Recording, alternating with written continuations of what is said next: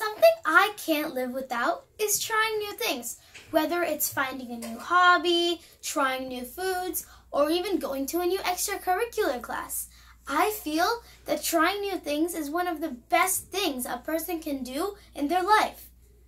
I came to this belief as I finished second grade. Now I'm in fifth grade, and this notion has not changed. Trying new things helps you understand the world better, and this helps you understand yourself better. Let me tell you a story about how being adventurous helps you. When I was six years old, I started classical dance.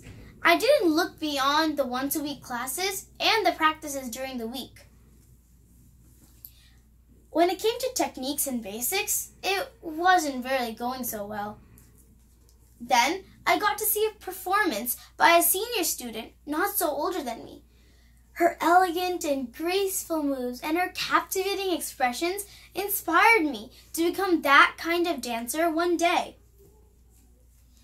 So, with my love of trying new things, I worked hard, and now I can proudly say I am a very good dancer and one of the best in my class. Now, my group and I have an opportunity to go dance and perform in the prestigious Lincoln Center in New York City.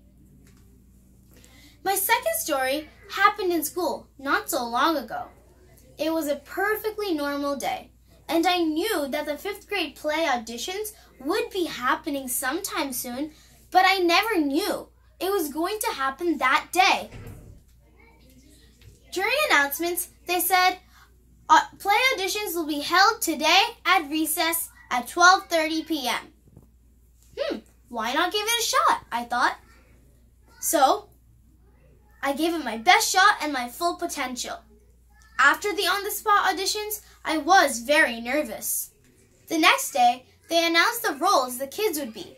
And guess what? I got the lead role. Now, when I think back, I realized that because I tried and gave it my best shot, the fear of not getting the role didn't take over me. These two examples show that trying new things builds curiosity and shows your potential and your ability to do different things. In this case, it's that I love dancing and I love acting.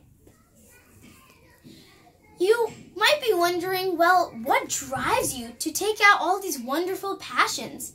Well, this pack of information comes with an extra piece called hope. Hope is that positive feeling that something good is going to happen. Have you ever heard the saying, you never know until you try? I agree with this quote 100%. If I don't step out of my comfort zone or try something new, then I'll feel like a puzzle piece, puzzle missing a piece. Trying new things, it's the thing that puts great ideas in your head. It's the thing that gets you excited. It's the thing that makes your passions purposeful. Trying new things fuels my passions every single day. And it also, it also encourages me to look forward to a brighter future.